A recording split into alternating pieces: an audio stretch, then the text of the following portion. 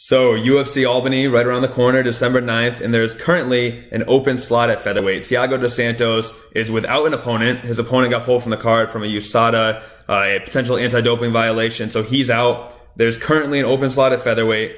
This is the time to call up Matt Bessette. We've been plugging him forever now. I've gotten to know him. We're both from Connecticut, so I, I kind of got an inside track uh, a little bit early on in his career, but this is not bias that's showing right now. He is the guy who should get called up. So we talked to him on the podcast before, and he basically said he's on a short list. Uh, what'll happen is when someone like this drops out, they're looking for a replacement opponent. They'll text him and they'll say, "Are you ready to go?" He'll always say yes, but it's a list. So the only way he gets called up is if everybody else on the list uh, turns it down. Basically, everyone who's above him turns it down, and then he gets called up. I think he should be at the top of the list for this one, and and even if he's not, hopefully someone else drops out. But he really should be at the top of the list for this one because he's in very close proximity. Like I said, it's in Albany, New York. He trains out of Hartford, fights out of Hartford, so that's about you know two hour drive, very very close. He'd bring a lot of his fans to this one. Uh, he's also an extremely exciting fighter. He's won seven out of his last eight fights, all finishes. Hasn't seen a third round.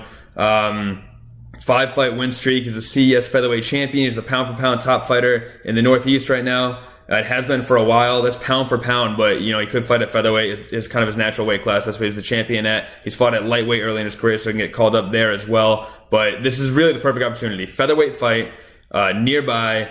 It's it's however many weeks notice. He's already ready to go. He's been talking about it forever. He really wants that UFC that UFC call up, and I mean everyone wants it, but he really deserves it at this point in his career. I think this is it. You know, I've I've hoped for it in the past, uh, just because he's a good guy. We've known him for a long time, but this to me is the perfect opportunity to call him up. So hopefully they do just that. Uh, we'll have to wait on this. Hopefully, uh, obviously the UFC is aware of him because they text him, but hopefully he is on the top of the list for this one because the list does sort of get shaken up. It's not concrete. It depends on a lot of different X factors, matchup, proximity, things like that. And all things considered, I think he's the perfect matchup for this one. So this is the time to call up Matt Bessette. I don't think he'll be a one and done type guy. I think he's someone that could actually have a, a real future in the UFC. He's really in his fighting prime right now, looking better than ever, and he's really well rounded and exciting. So I see no downside to this. Call up Matt Bessette, UFC Albany. Uh, I think Tiago Trator needs an opponent. So uh, that'll, that'll do it for me. I hope you guys are, are, listening out there. However, I don't know what kind of impact I have, but hopefully uh, someone listens to me because I feel like I, I, can provide some sort of insight to it.